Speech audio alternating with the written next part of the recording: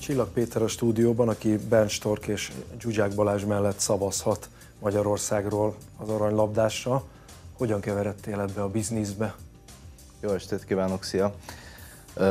hát 2012-ben meghalt a, a, a szavazati jog előző birtokosa Imre Mátyás, aki a France Football, francia futball magazinnak a magyarországi tudósítójaként a 90-es évek elejétől um, szavazott évről évre.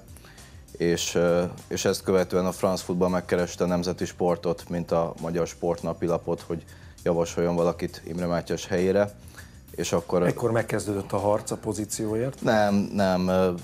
Hát nyilván nagy megtiszteltetés volt számomra akkor, hogy a, a nemzeti Jelentkeztél, sport... vagy a vezetőség felkért? Nem, nem, a vezetőség felkért. Ha jól emlékszem, a, a megkeresés Murányi András akkori főszerkesztő helyetteshez futott be, aki Buzgó József főszerkesztő és Vince András vezető jóváhagyásával engem kért meg erre a feladatra. Én akkor még felhívtam Pajor Gyulai Lászlót, aki a Magyar Sportújságíró Szövetség elnökeként, illetve Imre Mátyás közeli ismerőseként, barátjaként tudhatott esetleg arról, hogyha volt valaki, aki Imre Mátyás maga helyére szánt, ugye betegsége miatt erre akár készülhetett is volna, de miután, miután kiderült, hogy nincs ilyen, ezután én elvállaltam ezt a feladatot.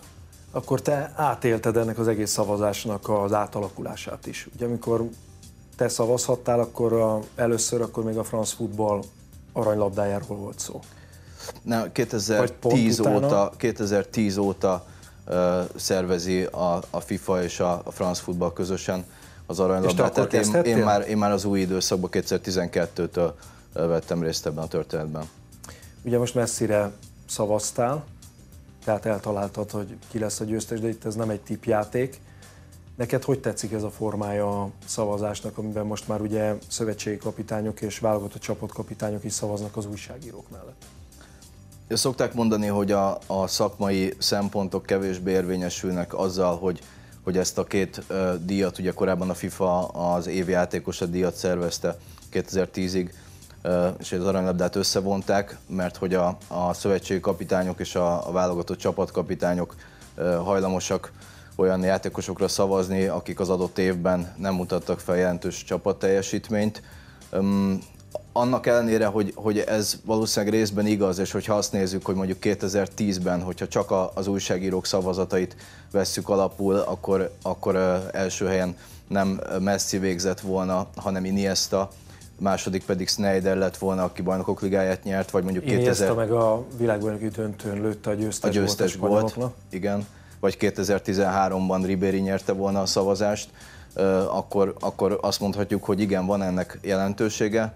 Én azért mégsem venném magamnak a bátorságot ahhoz, hogy, hogy azt mondjam, hogy, hogy én kétségbe vonom mondjuk a szövetségi kapitányoknak, nem tudom, Vicente Del Joachim Löwnek, vagy akár Ben Storknak a, a hozzáértését. Nyilván nekik más szempontjaik vannak, de azt hiszem, hogy azt is tiszteletben kell tartani. Igen, talán annyi a különbség, hogy a sportolók, illetve a szövetségi kapitányok a legjobb játékosra szavaznak, míg az újságírók általában az évben a legjobb teljesítmény nyújtó és csapatszinten is eredményes futbalistára. Igen, ez, De ez, ez egy... talán most találkozott is. Ez ebben az évben szerencsés módon találkozott, éppen ezért nekem sem okozott akkora fejtörést az, hogy kit tegyek első helyre, második, harmadik már inkább de való igaz, ez egy nagyon fontos megközelítés, hogy, hogy hogyan tesszük fel a kérdést, hogy milyen kérdésre keressük a választ. Mert, mert fel lehet tenni azt a kérdést, hogy ki volt az évben a legjobb, és fel lehet tenni azt a kérdést is, hogy kinek volt a legjobb éve. És nem biztos, hogy erre a két kérdésre ugyanaz a válasz. Sőt, egyébként, hogyha egy kicsit még ezt tovább hámozzuk, akkor, akkor fel lehet tenni úgy is a kérdést, hogy ki volt abban az évben a világ legjobbja. És ez meg lehet, hogy egy harmadik választ eredményez. Például 2014-ben ugye a dobogon volt Cristiano Ronaldo, Messi és Neuer, hogyha azt kérdezzük, hogy kinek volt a legjobb éve, akkor Neuernek, hiszen világbajnoki aranyérmet nyert. Hogyha azt mondjuk, hogy ki volt abban az évben a legjobb, akkor Messi, mondjuk, aki, vagy bocsánat, Cristiano Ronaldo, akinek tényleg zseniális éve volt, amelyet, hogy B-et nyert.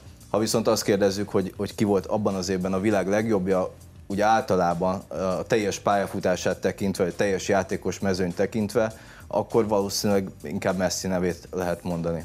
De most akkor bármilyen kérdést tettek volna fel Messi. Igen, igen. Azt hiszem, hogy ebben az évben teljesen egybecsengett. Hát azzal, hogy a, a Barcelona ö, gyakorlatilag tarolt az évben, bajnokok ligája, spanyol bajnokság, spanyol kupa, európai szuperkupa és klubvilágbajnokság, bár a klubvilágbajnokság az, az a szavazási idő után volt, tehát az már nem számított bele, ö, és emellett Messinek az egyéni teljesítménye is hát, félelmetes volt. Ugye csak a góljait nézzük, 61 mérkőzésen szerzett a naptári évben 52 gólt, ezzel igazából eldöntött az aranylabda kérdését, és emlékszem, amikor, amikor először szó volt komolyabban a, a jelöltekről, illetve amikor nyilvánosságra hozták a 23-as jelölt listát, akkor például a La Gazzetta dello Sport tekintélyes olasz szaklap már tényként közölte kijelentő módban írta azt, hogy, hogy Messi nyeri az aranylabdát. Nagyon szépen köszönöm, hogy itt voltál, most ennyi fért bele.